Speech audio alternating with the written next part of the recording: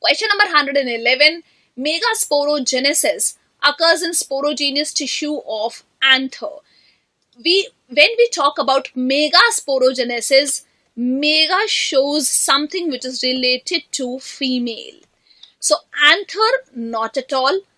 Forms gametes without meiosis? No.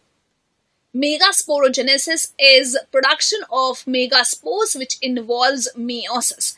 Involves reductional division? Yes. It is not observed in angiosperms. No, it is observed in angiosperms. The correct option for the given question is option number 3.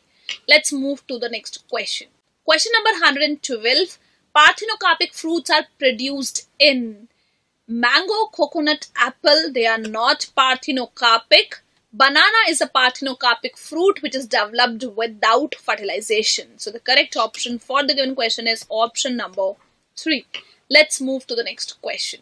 Question number 113. State true or false for the given statements and select the correct option.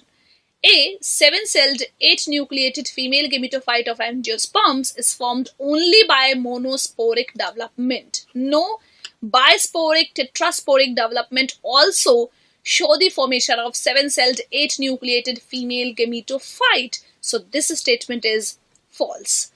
B. Multiplication by fragmentation is observed in filamentous fungi, algae and protonema of mosses. It is true because they are filamentous then multiplication by fragmentation is easy in these structures and easily observed in these structures. This is true. C statement, water is required for transfer of male gametes in Vallisneria plant. Vallisneria is aquatic angiospermic plant in which male gametes do not require water for their transfer because male gametes are transferred by pollen tube in all angiosperms. So this is false. So false, true, false. By analyzing the option, we can say the correct option for the given question is option number 1. Let's move to the next question. Question number 114. Plant having interflowering period is polycarpic plants. They have interflowering period. So you have to find out for the polycarpic plants because they flower again and again.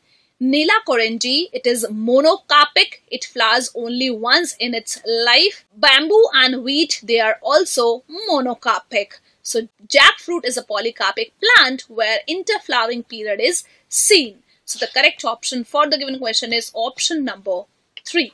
Let's move to the next question. Question number 115. Vegetative cell of pollen grain is smaller in size than its generative cell. When pollen grain divides, it forms two cells, the generative cell and the vegetative cell. So this is the generative cell and this is the vegetative cell.